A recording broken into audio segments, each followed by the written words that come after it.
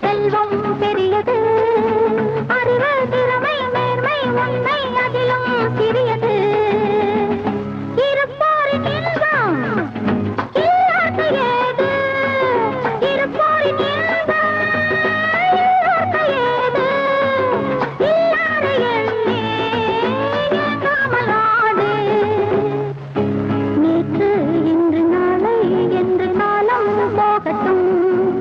நித்தம் நித்தம் வாழ்வு நல்ல சொர்க்கம்